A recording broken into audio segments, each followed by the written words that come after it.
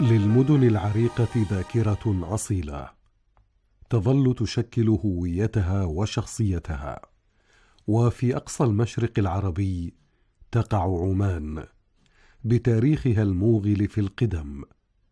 والحضارة التي تفاعلت مع الآخر وسجلت حضورا مهما في المحيط الهندي وسواحله. كما تواصلت مع أقدم الحضارات في العالم.